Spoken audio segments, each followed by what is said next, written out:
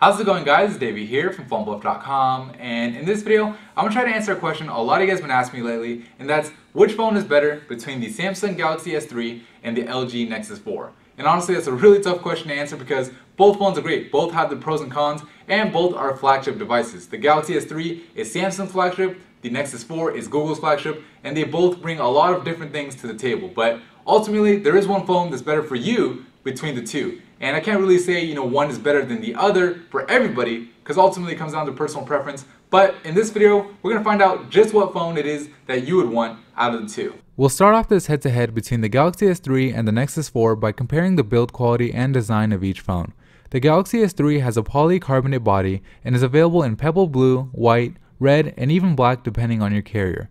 The S3 is both lighter and thinner than the Nexus 4, and because of this and its curved design, it's a little bit easier to hold in the hand. The Nexus 4 on the other hand currently only comes in black, but it does feel like a more premium phone than the S3 because of both the soft touch material on its edges and the Gorilla Glass covered front and back. So when it comes to looks and design, I don't think you could go wrong with either phone. The S3 gives you more color choices and feels better in the hand, while the Nexus 4 feels more premium and has that sleek black look we've grown to love from Nexus devices. Now let's talk screens.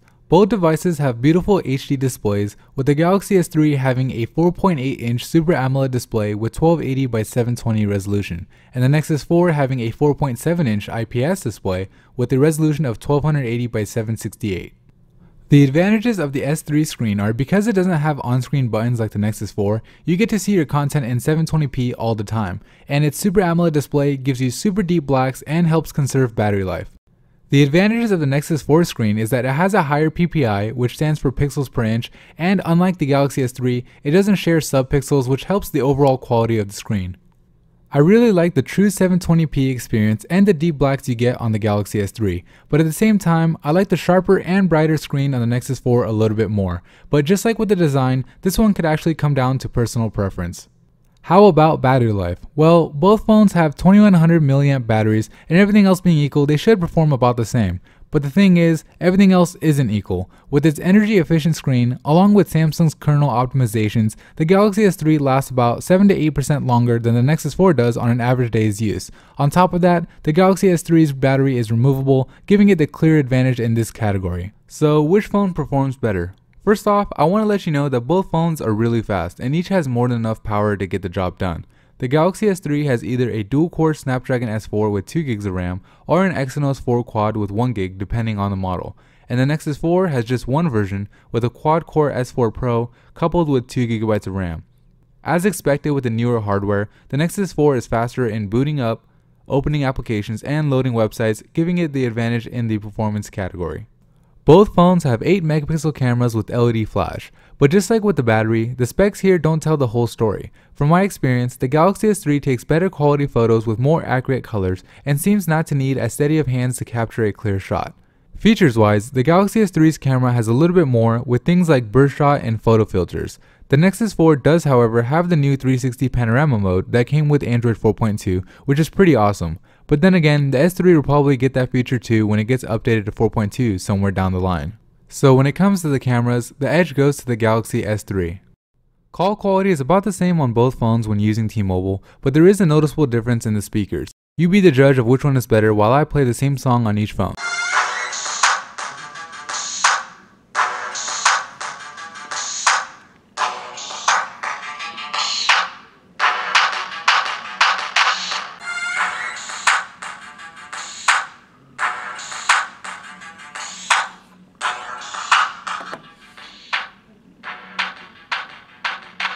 As you could see, or hear in this case, the S3 speaker is louder than the Nexus 4, especially when laying on its back, so again, the Galaxy S3 gets the win in this category. On the software side of things, the Galaxy S3 has Samsung's TouchWiz UI over top of Android, which includes nice little features like wireless toggles, smart stay and smart rotation which use the front-facing camera to control the screen, and motion controls which allow you to do things like swiping your palm across the screen to take a screenshot, and a whole bunch more. But it's the software on the Nexus 4 that really draws you to the phone. Being a Nexus device, it runs Android the way Google envisioned it to be, and you'll pretty much be one version of Android ahead of the Galaxy S3 and other non-Nexus devices most of the time. So you'll get to enjoy the latest and greatest from Google at least a couple of months before everybody else does.